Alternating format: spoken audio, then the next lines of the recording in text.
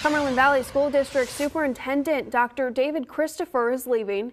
In an email sent to district families on Friday, Christopher announced he's taking over as superintendent at the West Chester Area School District outside Philadelphia.